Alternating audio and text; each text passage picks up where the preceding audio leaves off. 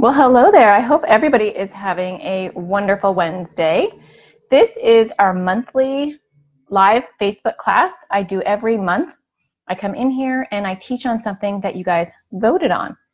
So, for those of you that do not know me, my name is Natasha Daniels. I am a child therapist. I specialize in anxiety and OCD, and I'm the creator and admin of this ever growing, beautiful Facebook group. So, I appreciate that. And every month I come in here and I teach on a topic that we all find very important. And you guys voted, and you voted on how to find the core fear in your kids, which I think is an incredibly important topic because if you don't know your child's core fear, you really are taking shots in the dark. And teaching our kids what their core fear is is actually really powerful too. So I'm going to get all into it.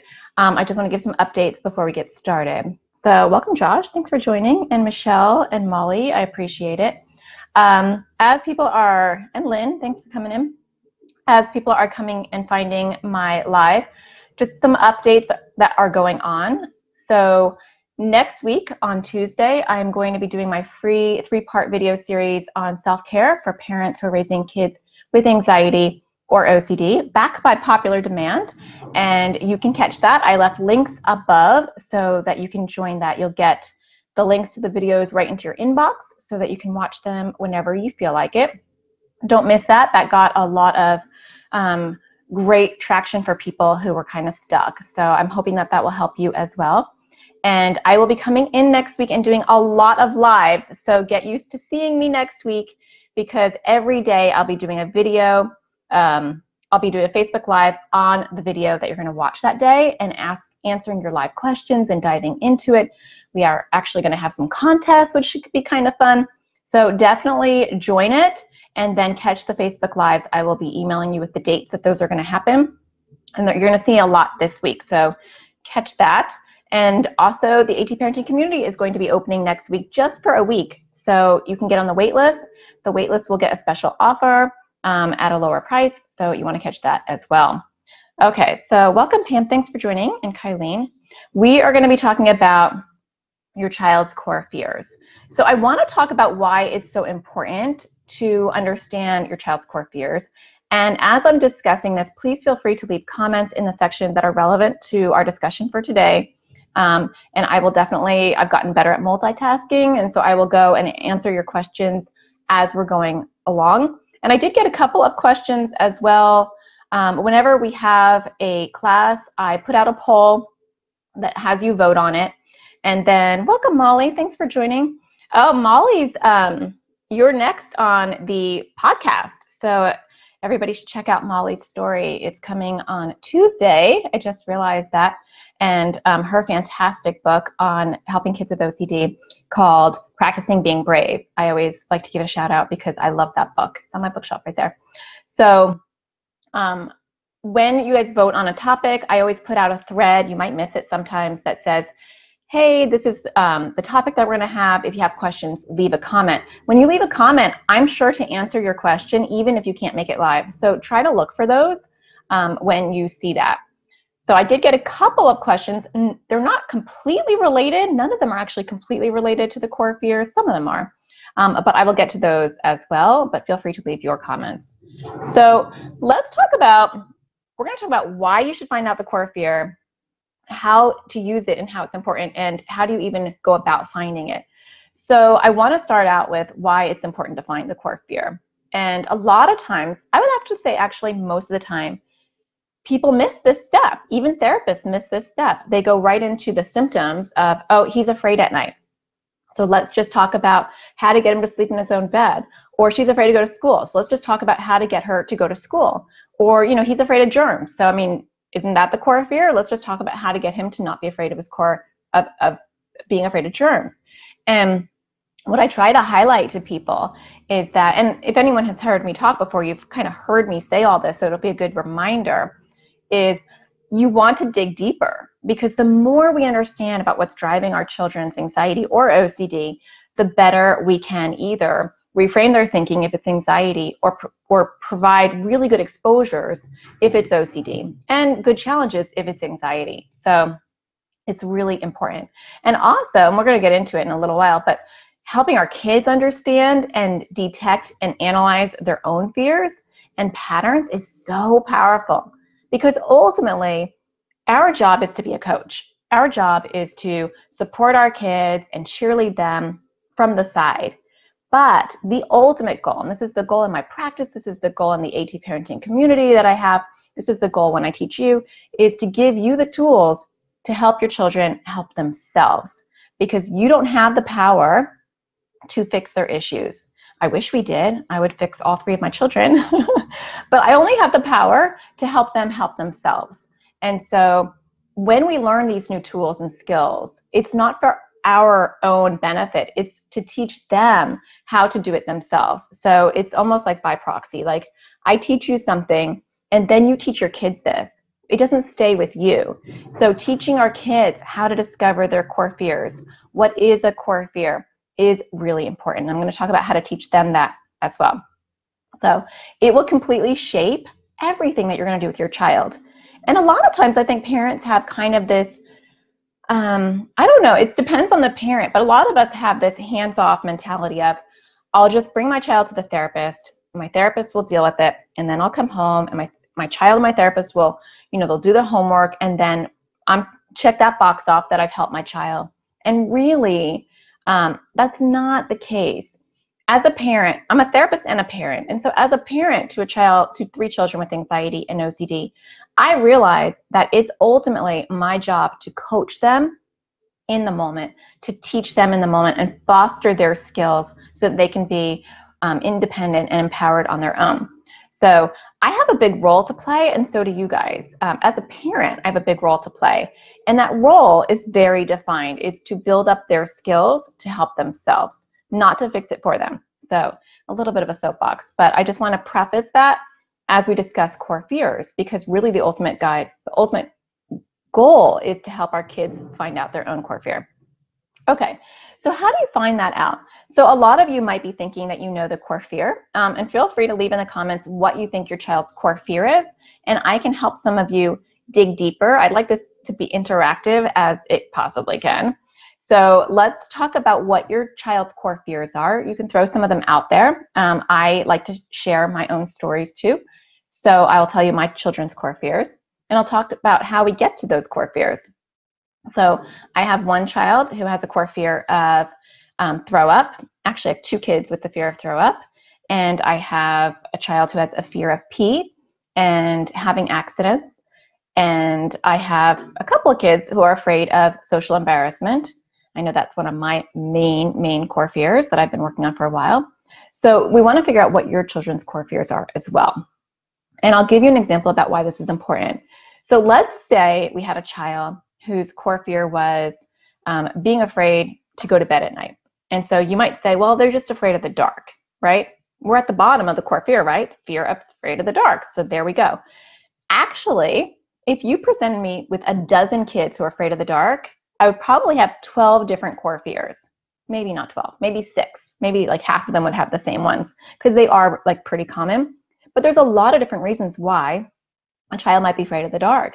Maybe they're afraid um, that there's a bad guy that's going to break in. Or maybe they're afraid that there's a monster in their closet. Or maybe they're afraid that they're never going to fall asleep and they're going to be so tired the next day. Or maybe they're afraid that something bad's going to happen to you at night. And so we might be assuming they're afraid of the dark, but really it's just what the dark means, which means bedtime, which means good night. They might be afraid that they're going to die. Well, gosh, those are a lot of different core fears. If I approach the kid who's afraid that they're going to die when they go to bed with a kid who's afraid of monsters or aliens, I'm going to be speaking Greek. When I say to that kid who's afraid of monsters and aliens, don't worry, you know, you're safe. You're going to wake up the next day. That's really not addressing their core fear. Or if I said to the kid who's afraid of death and dying, I said, don't worry, there's no monsters in your closet. We can go check. They're going to be like, what are you talking about? So we don't want to assume that we understand what's going on with our kids, right? We want to ask. Um, so Ursula said, mine is afraid of academic failure, causes her to not try at all, thinking totally black and white. So we'd want to go further with that, and we'd say, what's the worst that can happen to you if you fail academically? right? Um, and I'm going to say this ad nauseum, so it's going to get a little repetitive, but really, we want to keep saying what's the worst part of in any rendition that you can say. That's the that's the gist of it. And so, what would happen if you failed? Let's just go down that like you know, that worry road, right? A lot of times as parents, we don't want to do that because we think, oh my gosh, Natasha, we don't want to upset them further. But that's not being proactive. We don't want to be afraid of anxiety or OCD. We don't want to walk on eggshells around it. We want to know as much about this enemy as we possibly can. So we do want to dig further. And so I might say, Ursula, to your daughter, well, what would be the hardest part about academic failing? What does your anxiety say could happen? Or OCD, depending on your child. And get those meaty answers so you can connect the dots. Molly said, I'm having a real hard time figuring out my daughter's core fear. Lots of her OCD revolves around just right or it's just gross. And when I try to dig for a core fear, we don't get very far. It's just gross. It just doesn't feel right. And I'm so glad you brought that up because that's a really good point. Grossness and disgust is the core fear. So with OCD, disgust, the fear of being disgusted, the fear of having that feeling of disgust, the feeling of it not feeling just right, the core fear with just right OCD is discomfort. A lot of times with OCD, the core fear is discomfort. And we get lost with that because people think, well, that's not a fear, but it is. So if I have an image that gets stuck in my head or a song that gets stuck in my head and I have OCD, the core fear is it's never going to get out of my head. If I see things, let's say I have an OCD issue around feet and I see feet and it makes me feel gross and disgusted, my core fear is disgust. Um, so the buck does stop there with that fear. And so when we're dealing with OCD, we want to desensitize her to the feeling of disgust. And so I have like fake boogers in my office, and I have a lot of kids who are afraid of um, like feeling disgusted around seeing snot or seeing poop or touching something gross or even food just looking weird and um, things being sticky. Sometimes that's a feeling of disgust. And so we do exposures around that. Sarah said, My son is fearful of getting in trouble at school. He has anxiety, OCD, ADHD, and a tic disorder. His tics and impulsive behaviors are getting him in trouble. And so then, Sarah, I would go further and I would say, what you, What's the worst thing that would happen if you got in trouble at school? I have asked that to a lot of kids and I get a lot of different answers. Some kids will say, well, I'm afraid of going to the principal. The principal's really mean. Or some kids say, I'm afraid of getting punished. And so they're worried about what will happen afterwards. Some kids worry about their reputation. I'm worried that other kids will think I'm dumb um, or bad. So we want to go all the way down that rabbit hole. Stephanie said, Miss Six says she's afraid to sleep at night because when she closes her eyes, she sees bad things. When I ask her what they are, she never tells me. She just says, I don't know, crying. So, Stephanie, I would be cautious with her, but I would still dig further over time. So, these things don't have to happen all in one sitting, all in one conversation. A lot of times with my kids, especially my son who's homesick today, so I told him to be quiet. He's in the other room. Um, he's fine now. I think, he, whatever, it's a long story. But uh, you want to ask, like, what's going on? And so we want to do some breadcrumbs and maybe talk to her about drawing it out. I know it's hard to talk about. How about you draw it? Because if we keep it a secret, then anxiety, did you say she has anxiety or OCD? You didn't really say. Because anxiety loves to grow and keep it secret. And that's actually a YouTube video I'm making for I think it's for this week, actually, which is about secrecy and shame. Anxiety and OCD love secrecy and shame. And so even with a six year old, I try to like address that by saying, you know, anxiety doesn't want you to tell me anything. I feel like when I'm proactive and I tell kids that, hey, anxiety or OCD, depending on the child I'm talking to, they don't want you to tell me these things. That's their power. They're like best friends with you. They're like, don't tell Natasha. And I find when I disarm anxiety and OCD, kids will be more forthcoming. So maybe have her draw it or, um, maybe have her act it out with puppets, whatever works for her over time. Teresa said, um, My son doesn't like to go to school because he's going to miss us, his parents, and he's afraid to be locked outside when he goes out to play, and he's afraid we're going to leave him there. Not sure what the core fear is. Well, you're you're well on your way. And actually, you had said that in your comment too that your son's biggest core fear is being left at school or being left alone. He's never been left anywhere, so I have a hard time wrapping my mind around the fear or where it comes from. It's actually an incredibly common fear, super common. I see that all the time in my class. Um, I was going to say my classes, in my classes too, but in my practice. And you don't have to have an experience or a trauma for anxiety to create something. Um, anxiety is very creative. If you can think it, then it can be a fear. And being afraid that you're not going to be picked up or being afraid of being alone is a very, very common separation anxiety core fear. And so we want to go further with it and we say, because being locked out of outside when he goes out to play is still separation, right? Um, being afraid that you're going to leave him, that's still separation. He doesn't want to go to school because that's still separation. And so sometimes with kids with separation anxiety, there's a over dependence on the parent. And so they fear if they're not with you that they can't function, that they won't be okay. And I don't know that about your son because we can't assume. And so I would I would really explore that, and I would find out, um, you know, what would be the worst thing that would happen if we did get separated. You know, what does your and hopefully you have a name for your anxiety, but what does your anxiety say would happen? What does Mr. Worry tell you would happen if you're not with me? And then we would go from there. So uh, Ursula had to go to an IEP meeting. I am sorry to hear that. Hopefully, you can watch the replay. Joanne said, afraid of dying in her sleep and not waking up and being ill. Okay, so Joanne's got some really good core fears. I mean, you can't go further than that. Um, although I, this is going to sound super weird, but I do ask kids, what's the worst part about dying? I know that seems totally bizarre, but I want to get the meat of it because for some it's the pain um, I was just talking to my eight year old last night, and she's developed a fear of dying recently. And she was talking about the pain. Like the pain was really the only thing that was upsetting her the most. And so we talked about pain and death. We had a bit of a spiritual conversation and talked about what that looks like. You don't want to shy away from these conversations because really, the more information we can give, even in scary situations or hard topics, the better. So I would still ask.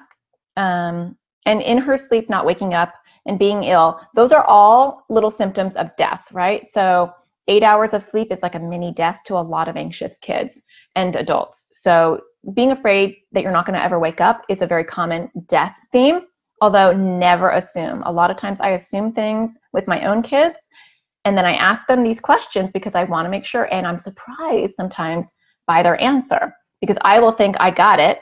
You know, this is definitely your core fear, and they'll tell me something else. So even if they've had a history of a core fear of something like death, and then they have a new fear that seems kind of obviously related to death, don't ever assume. Always ask the questions of what would be the worst part of, of that if it happened?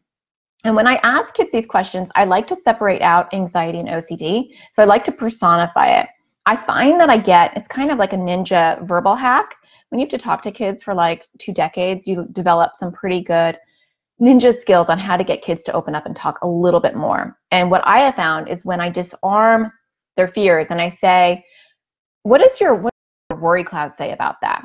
Or, you know, what does your dictator say is the worst thing that can happen? So instead of saying to them, what's the worst thing that can happen? When I add that little bit of distance from their anxiety and I say, what does your dictator say can happen? It gives them permission to say something crazy or what they might perceive as irrational because I'm separating it from them. Try that at home. That actually really helps a lot with the kids I work with. Okay, Sarah said, thanks, Natasha. I guess I'm also wondering how to support him after I get his answers.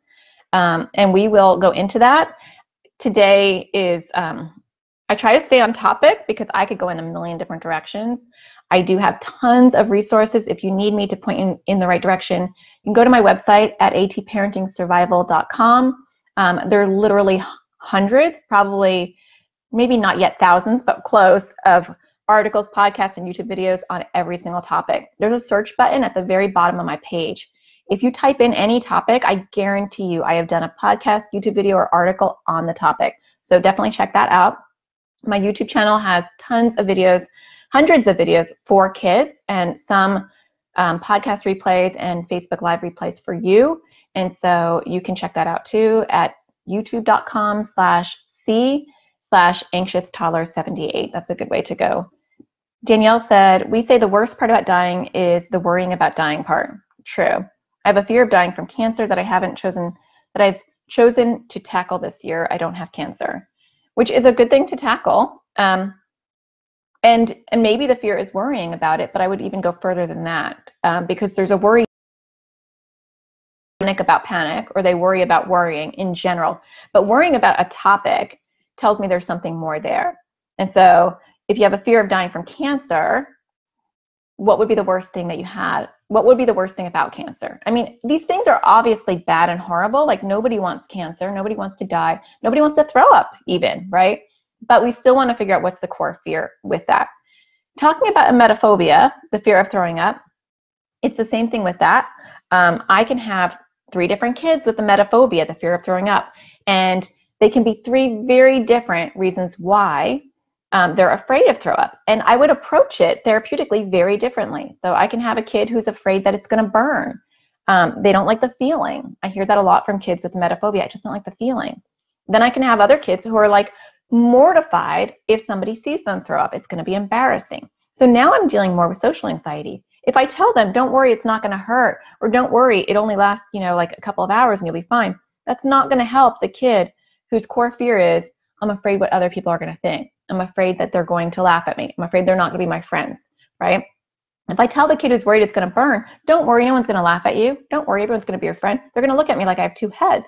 They're like, uh, thanks, I wasn't worried about that, but thanks for that. And that's why it's so important to distinguish which is the core fear. So some of the language that I use is, like I just said before, what's the worst part of? I use that a lot because there's a there's a couple of reasons why I like that sentence. I like it because it's validating. So when I say, what's the worst part of going to school? I know it's semantics, but you know, trust me, when you sit there and talk to kids for a living, um, you learn these things really quick because it's a very long hour when you're getting, I don't know, I don't know, I don't know. It gets long. And so you do learn how to get things out of kids in a better way. Um, I'm not a miracle worker, so if somebody doesn't want to talk, I can't force them. But I do know language, and there's certain language that does help. So when I say, What's the worst part of going to school? I'm validating it in that sentence. And I know that sounds kind of cheesy, but trust me, I have tried both ways for a long, long time. And when I say it that way, kids will respond a lot more often than when I say, What's the hardest part about going to Or, no, that actually sounds nice. When I say, um, Why won't you go to school? or why are you scared of going to school? I was um, getting, my kids were getting their hair cut last weekend and there was a little girl that came in and she was crying and she was terrified to to get her hair cut. I just wanted to dive in there and help her, but I couldn't. She was probably about five. And as she's going to sit at the um, stylist's chair, the stylist goes, um, "What's what's scary about getting your hair cut? It's not scary." And I just wanted to like it's to sound violent. I just want to hit her in the face. I'm not a violent person, but I was just so annoyed by that because I was like, that's the wrong way to talk to an anxious kid, you know? And my daughter had a little candy that I brought, and I was like, go give this to her. But her social anxiety was like, I'm not going to do it. So, but the reason why that was not okay, even though she wasn't trying to be cruel, she was just trying to be helpful. Um, it's just hard as a therapist to hear things when you're like, oh, that's so cringy. Because it was even though she was trying to make her feel better, again, the way that she questioned her was like dis- demeaning and like belittling her fear. It wasn't validating. It was like, you don't have a reason to be anxious, so therefore stop. Um, and that's, I'm being extreme with her, but that's an example of how we talk to our kids. And really, if she had said something like, I know that getting your haircut can be scary sometimes. She was five, right? what's the scariest part for you? Now, obviously, they're not training stylists necessarily in how to talk to little kids. It wasn't a kid place, but that's how we want to talk to our kids. Because if she did that, the little kid could have said something like, I'm afraid you're going to cut me, or I don't like the sound of it, or I don't like when it vibrates, you know, whatever. Those are three very different answers, right? So you would then kind of reframe their thinking based on that core fear instead of just this blanket, you don't like haircuts let's just talk about rainbows and butterflies and tell you that haircuts are fine and suck it up, buttercup. It's not going to help. Okay. So Joanne says she has really bad panic attacks. Um, I just to address it with her, just have to do reassurance.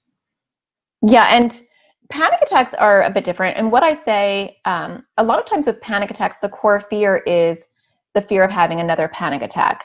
Because panic attacks are very physiological versus an anxiety attack that can be situational and they can happen at any time for any reason that are to- that's totally unprovoked.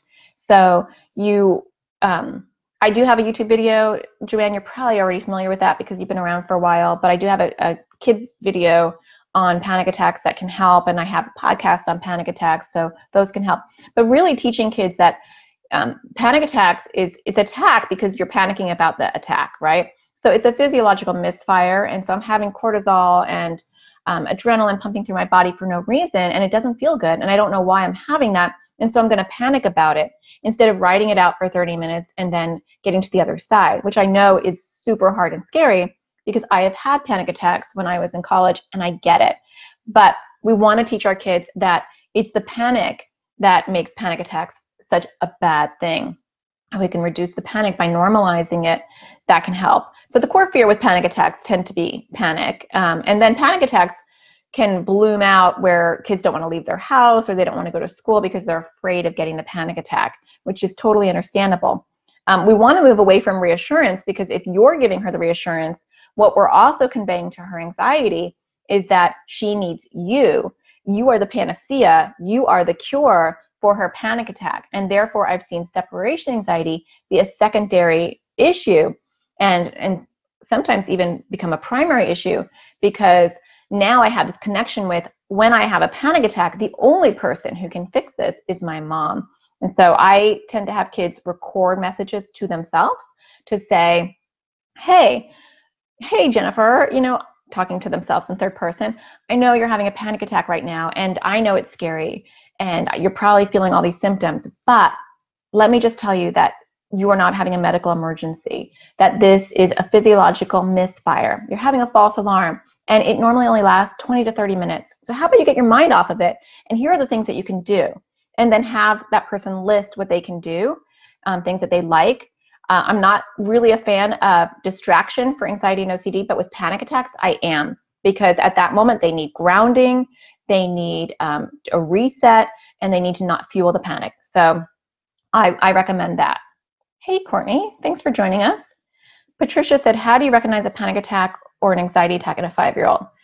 Sometimes they can be hard to differentiate, um, but an anxiety attack, and it really doesn't matter completely because at the end of the day, all kids are hyperventilating and their heart's racing and they're overwhelmed. Um, the only difference is there's there's no trigger. And so if I'm having an anxiety attack, I'm either about to do something or something just happened to me, or I'm thinking of something that's causing my anxiety and it's getting so overwhelming that now I'm having an anxiety attack.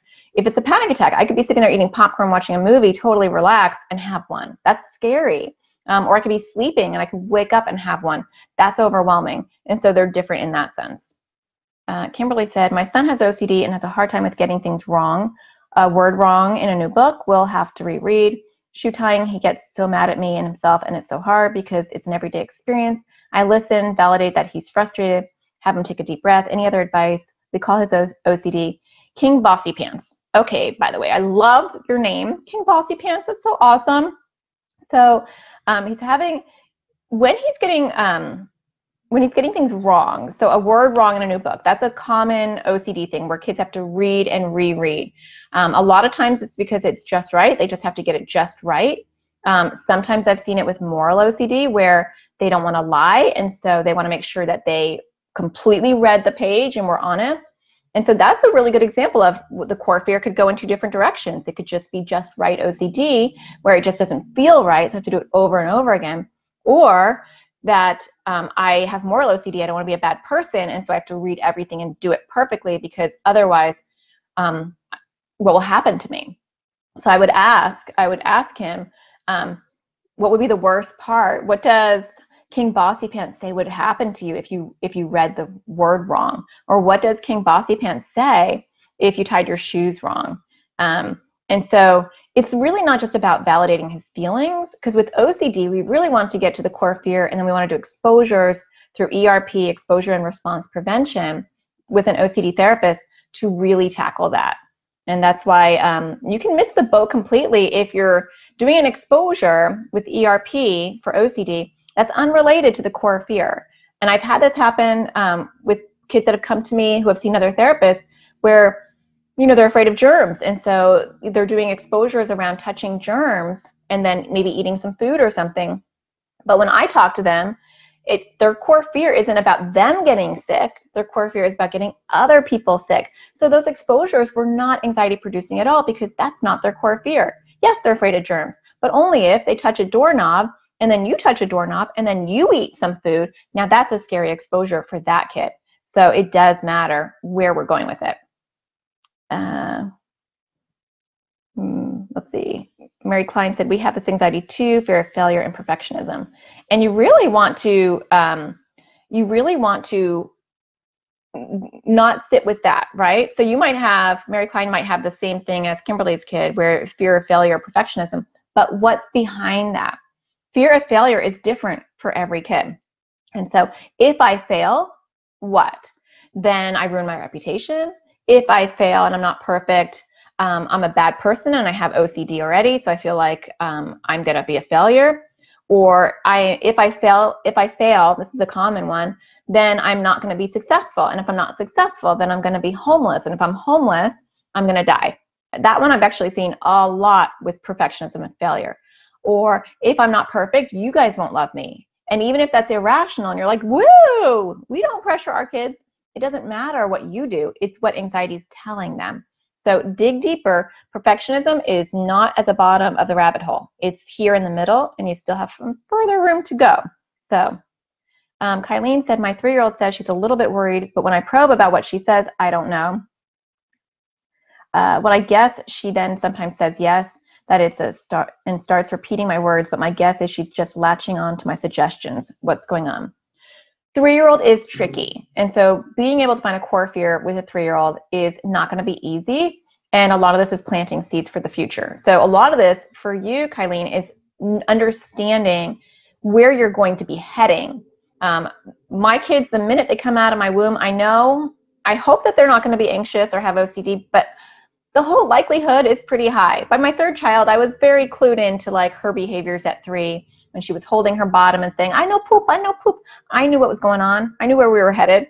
So, um, not that we want to like, you know, put that on our kids, but being cognizant and aware is really helpful. So, Kylene, your job right now is really to build up her emotional intelligence by labeling her feelings and giving her feeling words so that she knows more words than mad and bad and sad.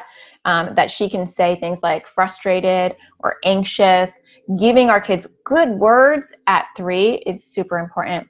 And then watching and being a, an observer. And so we really have to be a detective when we are helping our kids, especially in toddlerhood, but and beyond. And so I would be watching her patterns and making connecting the dots for her.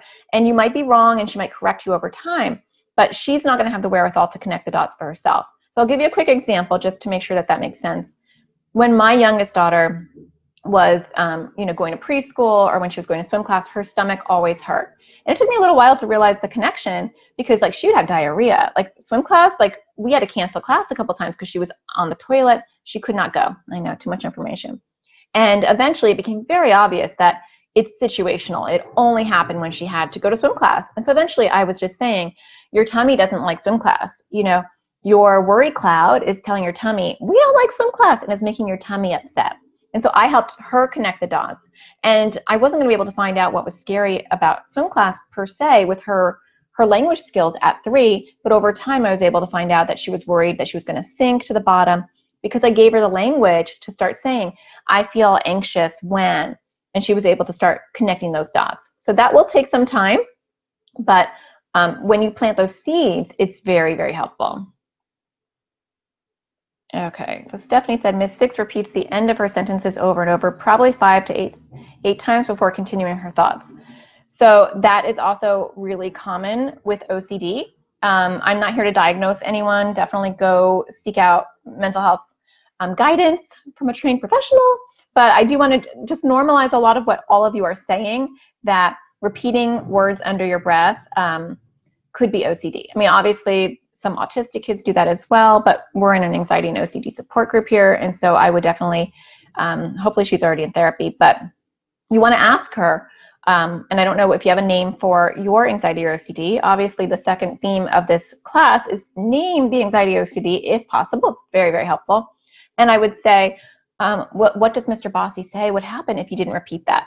A lot of times, I'm just telling you what other kids' core fears tend to be around that, um, is that they're not saying it perfectly um, or that they feel like they're not going to be heard. And so the core fear is, um, you know, getting it just right. So I said it, I said it, I said it. Now, sometimes there's a certain number, and so they have to say it at certain times or something bad's going to happen. That's totally different, right? And that's why a behavior, a compulsion in and of itself does not tell you anything about the core fear. It tells you just a little bit, but not much, because the reason why is is deeper. Even if it's disgust or just grossness or discomfort or just right, that's the core fear, but it's different for each person. So you can have a person who's repeating their sentences because they want to get it just right and I can have a person who's saying it four times because if they don't do it four times, then you're going to be killed. The parents will be killed. Totally different, right? Susan said, My daughter, seven, has a fear of us, her parents dying. She won't go on play dates away from our home. It's a struggle every morning for school because she's afraid she'll die when she's at school. What is the best way to approach this? And we're not going to talk about approaches, and I know that's frustrating, but if I veer off on every topic, we're going to, this will be a very convoluted class. We're just talking about how to get to the core fear today. You have the core fear, Susan, so that is really good. It sounds like separation anxiety. Um, a lot of times, let me just make sure. Yeah, because she doesn't want to be away from you. She doesn't want to go to school because she's afraid she's going to die. So it's it's being away from you. And then you might want to talk to her and say, what does your worry cloud say will happen? How will you die? Now I know that sounds dark, and we're like, why would you go there? We want to know the nitty gritty of how deep does her fears go? What does her anxiety say will happen to her? How will she die? A lot of times kids will say, I don't know. And I'll say, well, just guess or ask your worry cloud because your worry cloud's the one bothering you. Because a lot of times the anxiety is like, I don't have to tell her why. I just make her fe- fearful and that's enough. We want them to go further. I want them to tell me because the worry and the anxiety or the OCD will provide you with the reasons if asked enough times. Even if it's just grossness or disgust or just death, we want to go down further. Okay, let's see. Danielle said, my son says he, my son says I wash his hands because they're sticky dirty. And when I ask him to explain it, he says it's because he doesn't want to get his toys dirty or messed up. Most of his OCD behaviors are about not using new items and keeping things nice and new. So it sounds like his core fear might be like ruining his toys. And then I'd go further even with that. And I would say to him, I don't know how old he is, but I would say, you know, and I'm just going to use um, Mr. Bossy for OCD and your worry cloud for anxiety just to personify it and show you how I'm personifying it when I'm talking to kids. But then I might say, Danielle, to your son, um, what does Mr. Bossy say would happen if your if your toys got sticky, right? And and if kids say I don't know, say I know, but just guess or go ask Mr. Bossy. What do you think he would say, right? So don't just sit there with accepting no and just be like he doesn't know. I'm sorry a little probing and prodding can help. Not too much, but a little bit can help. I get a lot of answers the second time, third time around when I phrase it a little bit differently. And I don't accept no. I just say, well, I know it's hard to know because maybe Mr. Bossy's like, I don't have to tell her the reason or I don't have to tell him the reason. She never asked for the reason. I just say, don't do it. But we want to boss Mr. Bossy back. So let's ask him, hey, Mr. Bossy, you've been bothering me about my toys.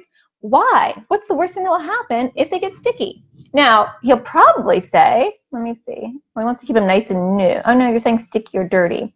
So um, he might say it's just gross. It will be gross. Um, but he might say they're going to make me sick. He might say they're going to have germs on them. And if kids say they're going to have germs on them, I go further and I say, well, what does Mr. Bossy say is the worst part about germs? I mean, germs are everywhere. And then, well, I might get sick. Or then my friend might touch my toy and then they might get sick. Well, that's different than the other one. And that's why we want to differentiate. Patricia said, can repeating everything a sister says, can that be OCD? My daughter repeats her sister a lot to the point her sister can't handle it. Um, it's hard to say with just that comment. Uh, I don't know if she has OCD or if she's on the spectrum. I mean, there is um, spectrum behavior where they echo what they hear. And um, so that's not OCD at all. So it just depends. I really can't diagnose anyone or anything, but just give you kind of my opinion on what's going on. Danielle says, We're still working on names. When I asked my son, he thought he was a funny guy, and he said, Danielle Tamaz. I don't know what that means. Okay, but naming it would be a good thing. Janine said, How would I tackle my son's intrusive thoughts that he's going to grow up and kill murder people and go to prison? He has to tell me what the, those thoughts are because it makes him feel better. Okay. Well, Janine, I hopefully you're seeing an OCD therapist um, because that sounds like it could be harm OCD. And again, I'm not here to diagnose, but I'm just to give you my initial impressions on what all of you are talking about. And so when you have harm OCD, um, you are, are you're worried that you might harm other people or other people might harm you or you might accidentally harm people. A lot of kids that I see with harm OCD are worried that they are going to kill or harm other people. So I definitely would recommend going to my website at atparentingsurvival.com and go to the search button on the bottom and type in harm OCD. You're going to see that I have um, I've interviewed um, Aaron Harvey on harm OCD. I have interviewed Jon Hershfield, who's a great author on harm OCD. I have done kids YouTube videos on harm OCD to help because the the compulsion is the confession. And so a lot of times we're missing this, and this isn't what this class is about. So I'll be brief, but we we miss that. We um, have an intrusive th- thought, feeling, or image, right? So I'm worried I might harm someone, and then the sink is you. So I tell my mom, "Hey, I think I might harm someone." You say, "Honey, you're so wonderful. You're you're never going to do that," and I feel better. Whoop! And I just completed the OCD loop. So a lot of times with moral OCD, harm OCD, lots of OCD, the parent is the sink, and I have lots of um, stuff on that, and so hopefully you can get some more information. Okay. Let me see, Mary Klein. It is. My son fears disappointing us too. Natasha, okay, that's not to me. So I'm just trying to get to the comments that are for me. Marco said, any tips on how to help a child with emetophobia, tried meds when they've read up online the side effects, including includes nausea and vomiting. I know that's so frustrating. I do have lots of stuff on emetophobia. Um, I don't mean to keep telling people to go to my website and, and Google it, but if I don't do that, we're not going to really be talking about the particular topic. So we have done Facebook Lives on emetophobia before, pretty sure. Um, I pin all of these Facebook Live classes up to the top of the group. So definitely check those out. There's like tons and tons of them. And I'm sure emetophobia is there. Also, if you go to my website and go to the search button and type emetophobia, I have done YouTube videos for kids. I have done podcasts on it. And so you can check that out as well. Oh, he gave so Danielle was saying that her son gave the anxiety your name, which is not good. You don't want you don't want it to be your name, right? I mean, if it's if it's funny and it's silly, you know, and we're like, eh, like my son's name is Squishy, I'm like, whatever. But if it's our name, we really don't want them to be calling it our name. That would probably be not okay. Crystal said, best ways to approach fear of being kidnapped. There's zero reason why this fear would be relevant that we know of. Okay, Molly has to go. Thank you for joining, Molly, and I look forward to having you listen to your um, podcast episode next Tuesday. So thanks for doing that. Um, Crystal, you've been around for a while, so hopefully you know what I'm going to say. But you do not have to have a reason to be anxious. I'm afraid of sharks. I've never seen a shark. Um, I've never been around a shark. I've never been bitten by a shark. It doesn't matter. So a lot of times when we have kids who have anxiety disorders, or anxiety is genetically rampant in the family, they're going to have fears that have nothing to do with what they've experienced. And that's okay. Sometimes we give way too much power in like the why of it. Well, why are they afraid of being kidnapping? Nothing's bad ever happened. Or why are they afraid that I won't come to pick them up? I've always picked them up. Or why are they afraid of the dentist? Nothing bad has ever happened in the dentist. Well, that's probably a bad example because you know bad things happen in the dentist. But I think it's important to not get stuck in the why. If your brain can imagine it, it can happen. Um, with my anxiety, I've always been afraid that someone's in the back seat, you know, and they're going to kill me as soon as I drive away. I still have that intrusive thought all the time. I don't do anything with it. I don't turn the light on or check because I'm just like, oh, well, whatever. That's never happened to me. I mean, I'm sure that like the idea popped up. Maybe I watched something, or maybe my anxiety was just super creative. But it doesn't matter. You don't have to have an experience for your anxiety to be creative. So, um, Samantha said, My 11 year old son and I watched your YouTube video. Why do I have anxiety? It is a brilliant way of helping us understand what it is. Thank you. He has trouble trying to convey what he is exactly worried about when refusing to go to school. We have switched schools because it was affecting his attendance, but he has started feeling the same as new school and refused to go one day this week. He said he was worried about old feelings coming up in a new school, but a number of things can trigger him from school, so still yet to find out his core fear. Yeah, and you know, it's a slippery slope unfortunately when when our kids don't want to go to school and then we don't we switch schools or we have them homeschool and i'm not um, against homeschooling or switching schools i think there comes a time where that's important but i think it's also really good to be aware that if i have a fear of embarrassment or fear of throwing up or fear of perfectionism it's going to go with me wherever i am and sometimes that's what we see. And we, we want, Samantha, we want your son to start to realize And I have YouTube videos on this. And so definitely search my YouTube channel where the more we give into it, right? And so anxiety wants us to avoid. And the more we avoid, the bigger it will grow. And so helping him personify it and just say, and I don't know what it's called, but if you say, you know, you're Mr. Bossy, I don't I normally use that for OCD and not anxiety, but you're you're Mr. Worry, and if he's older, well he's 11, so maybe he's dictator. I explain to kids what dictator is so they understand that. Your dictator doesn't want you to go to school. And if you don't go to school, it's not going to want you to go, you know, leave the house. And it just wants to bring your world in this much, you know, closer. And so, yeah, if you let him win, you won't go to school and you're going to have those feelings. So we have to work through them, not around them. We can't avoid them. And then I would just ask him, what's the worst part about school? And if he doesn't know, um, let me see if he, did he say anything about it? Not really.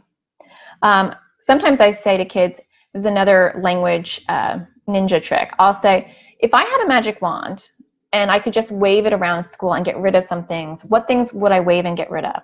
Or if we could just create the perfect school for you, what, what aspects could we get rid of? Now, what they tell you could be really interesting. I would get rid of my PE teacher. She's really mean and I always feel like she's yelling at me. Or I'd get rid of math. Or, well, I'd get rid of all the kids because I always feel like they're staring at me. Or I'd get rid of my stomach because I feel like I'm nauseous.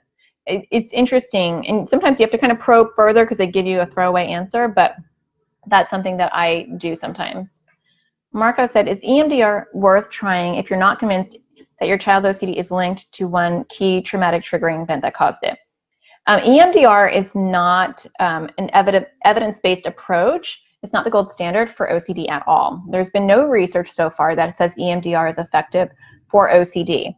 EMDR is fantastic for trauma. It's really good for kids that have experienced trauma. And so um, not against EMDR at all.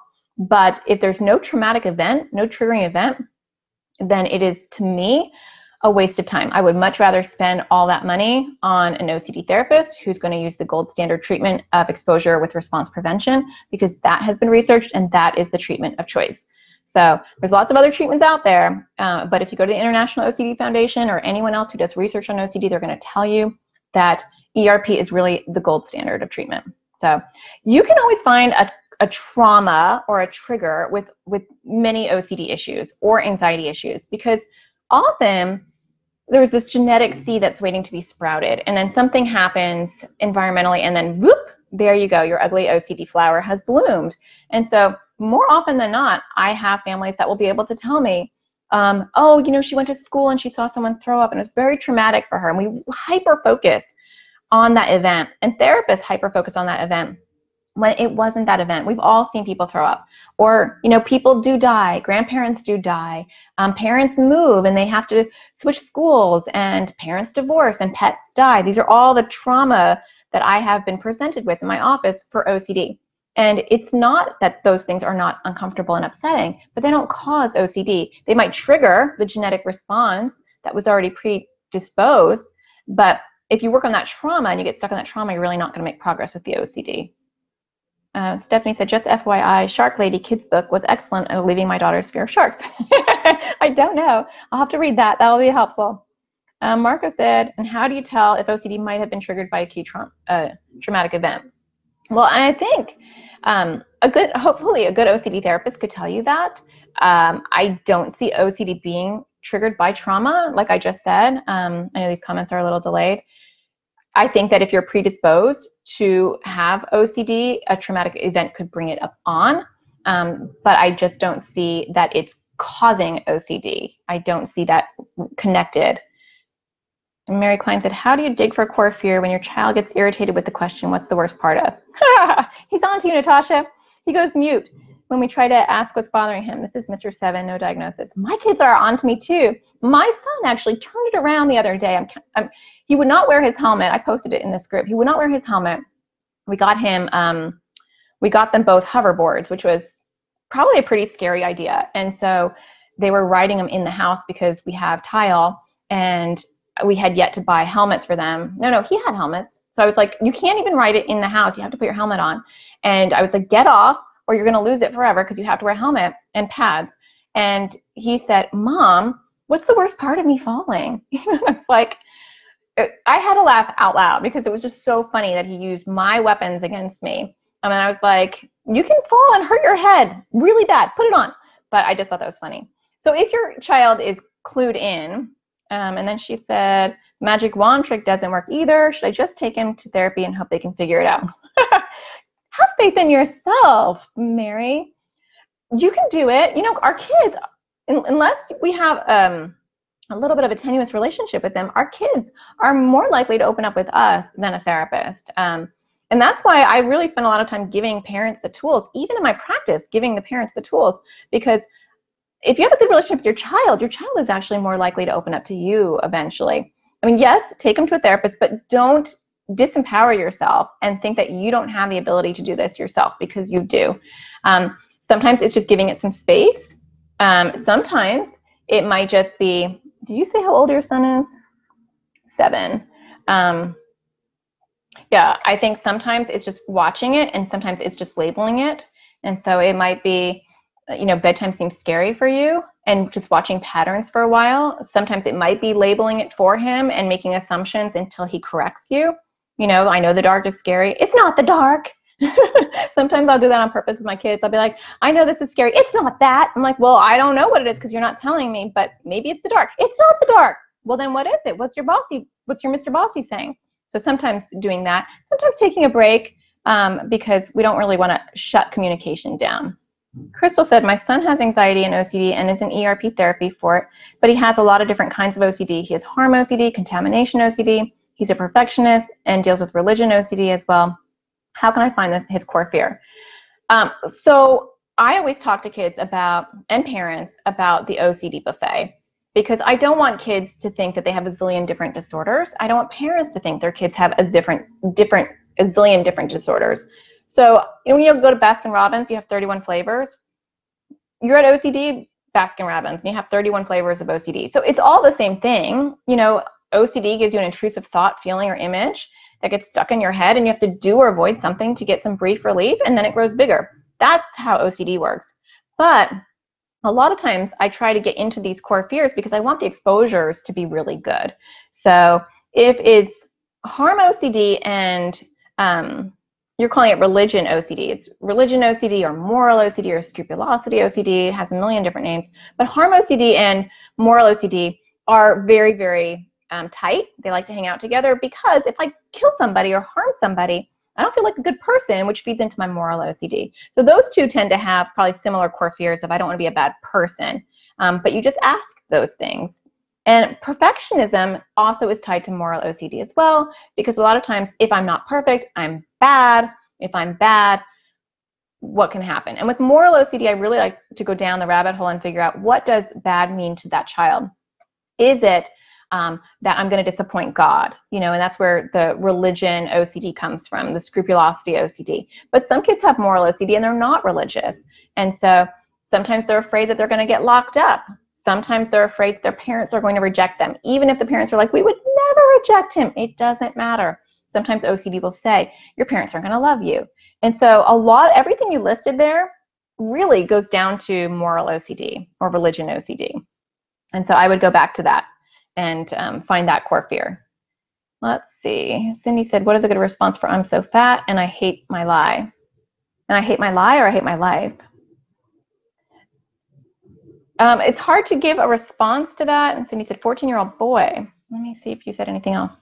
Um, it's really hard to give you a response for that because that is, I don't know if that's related to his core fear um, I don't know if he has OCD and he's checking with you to get some confirmation or reassurance that he's not that. Um, so I would need more information on that to give you a response because that's not life. I hate my life. Um, so if, if he said I hate my life and he wasn't just being dramatic, right? So some kids say I hate my life in the moment that they're being disciplined or kind of more typical normal kid stuff. And other kids are like, you know, that you could see their pain and they're like, I hate my life. Um, I know I'm going to sound like a broken record, but I would say, what's what's the what's the worst part of your life? You know, what what part of your life do you not like the most? And so I really want to figure out his pain point to figure out. If he's saying I'm so fat and he's not fat, you know, we're not going to go into that today because this is just about finding core fears. But I would, would want to know what's the worst part about being fat. Um, so a lot of times, and so she said OCD for sure. So if if somebody's saying I'm fat and they're thin and they have OCD and he's a boy, um, not that it necessarily makes a difference, I would say, um, I would say, well, what would be the worst part about being fat? So instead of swooping in and possibly doing a compulsion with him where you give him reassurance, and this is different if you have someone who doesn't have OCD, who um, is concerned about their weight legitimately, or has an eating disorder, that's totally separate. But if you have a kid who um, has OCD, maybe is hyper focused on their weight, we would want to say, what's the worst part about being fat? Because then I want to get to what's his core fear. Um, it's disgusting, it means I'm lazy, or um, it just gives me a gross feeling. You want to get to that core fear. If you just say, you're not that sweetheart, and he has OCD, we might have just went whoop and completed that OCD loop. Marco says, I'm in the UK and rely on healthcare provided by the state. We're being offered meds by psychiatrists, but no CBT or ERP in parallel because of very long wait lists. Is there any point starting meds if therapy is not happening in parallel? Um, well, I can't advise you on whether to give your child medication or not, um, but you definitely need ERP to augment the, the medication. Um, but medication in itself is still helpful and good. But I really am a believer that you do not have to wait to start ERP. Um, educate yourself. Read Talking Back to OCD by John March. That's a great book on teaching you ERP.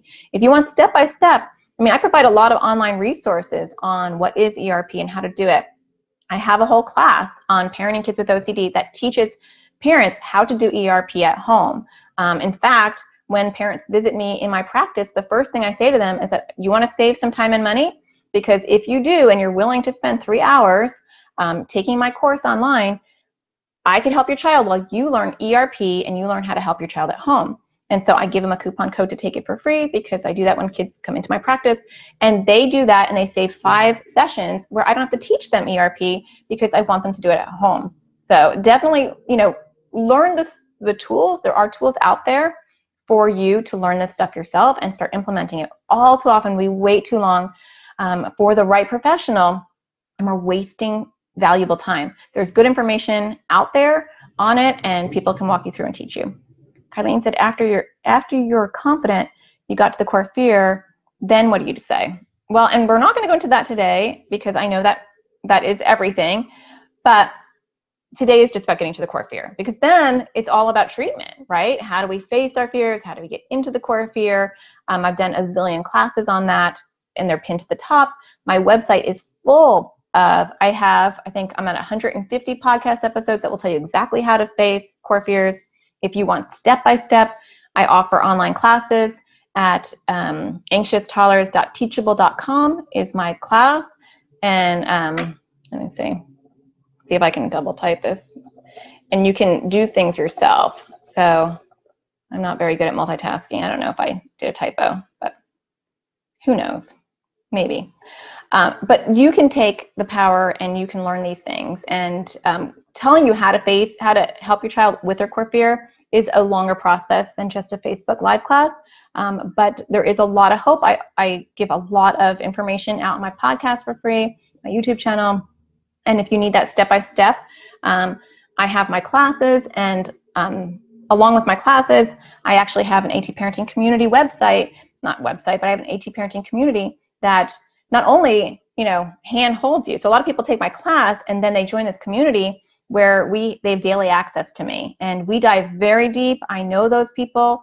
If they're having an issue, they can ask me direct questions in the forums or in our other private Facebook group, and they get they can get daily support through there. So there is a lot of help for you. Um, just tap into that. So I just want to read really quickly um, a couple of these comments and then we'll end. So Teresa, I already read yours.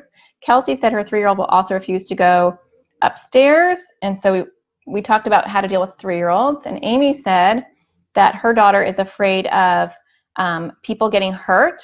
And so um, that seemed like a really obvious core fear to me.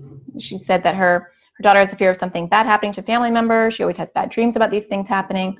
Um, so that seems like the core fear. Eliza said that the assistant principal of her son's school keeps telling her that her son needs to tell him when he has an issue with another child, and I keep telling him that gives him anxiety to talk to authority figures, and he gets scared.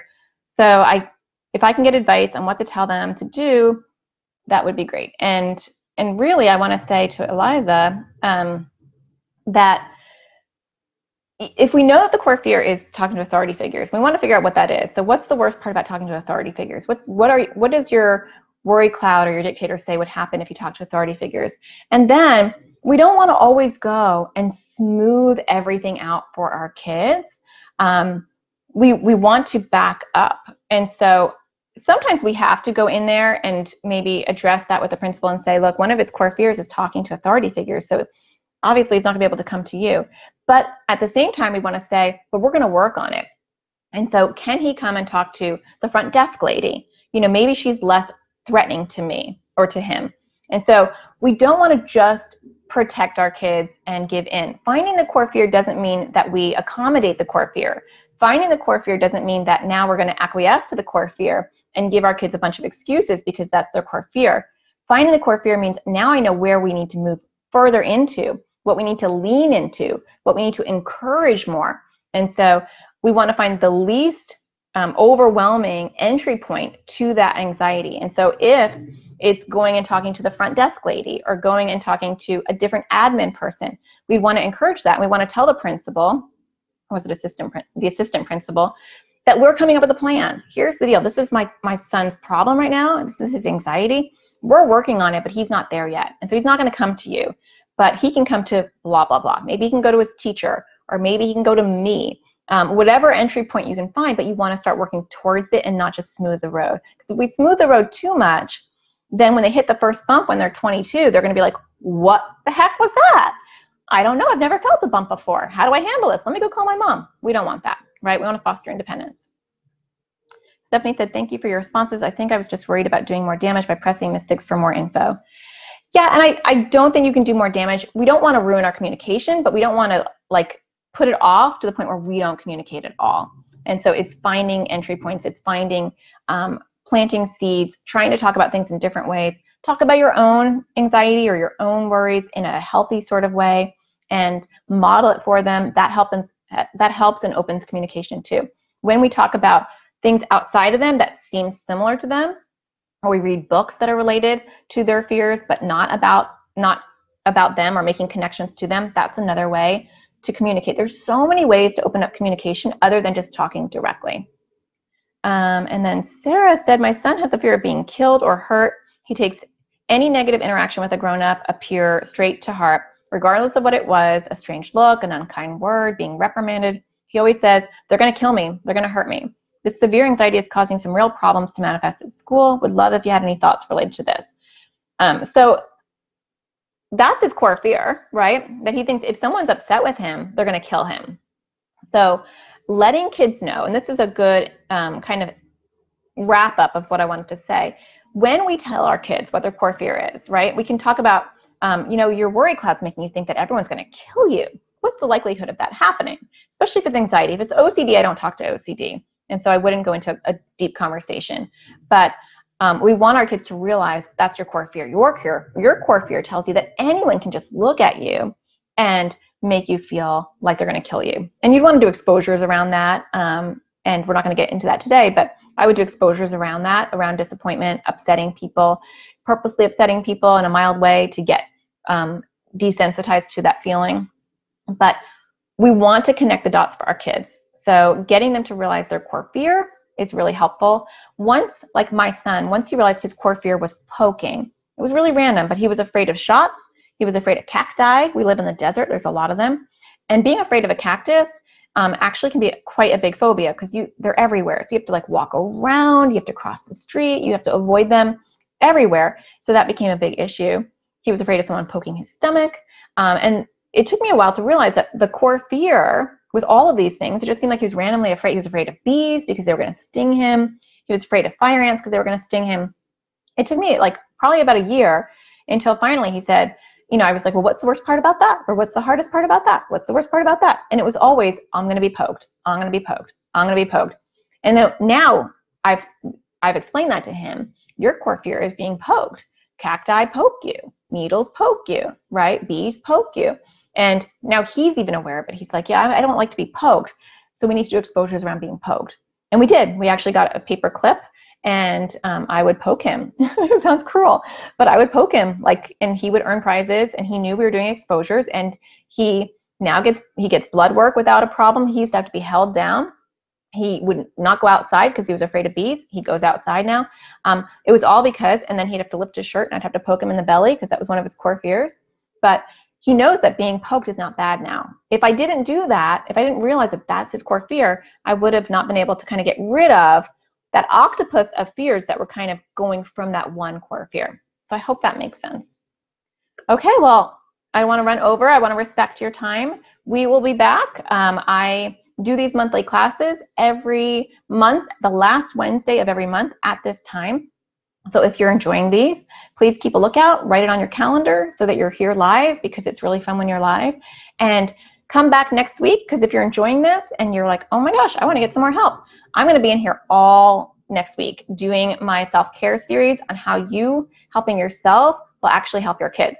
Um, we're not talking about bubble baths and chocolate and Netflix, although those are three of my favorite things.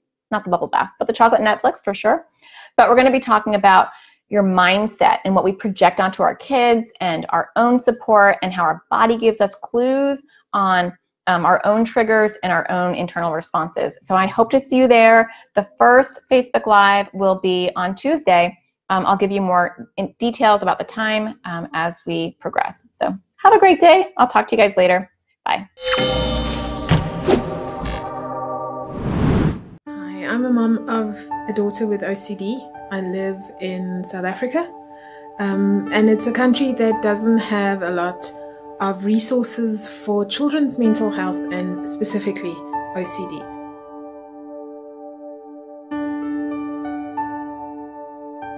really was at my wits end on how I'm going to support my child, how I'm going to do ERP, how I'm just basically going to to parent a daughter with OCD in a country that has little to no resources.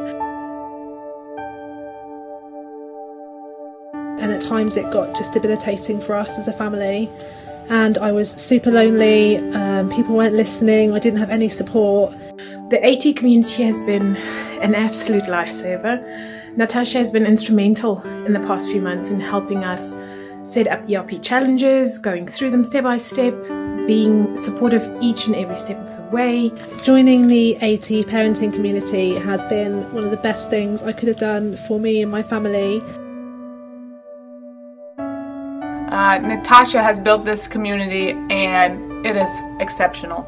I've learned so much. The support is fantastic. It's, it's just been life changing for my daughter. Um, it's so nice to be able to ask her live questions in office hours. She's there, she responds. Uh, her live videos every week where she asks us what we need her to talk about. Uh, also her forums, again, where you can ask questions. She's on there all the time. She is very present. The resources she's had provided, the worksheets, uh, there are so many things in this AT parenting community that are beneficial. Natasha gives you so much of her time and her expertise. She's there to answer your questions, so it's such a personal way of getting help and support when it's much needed.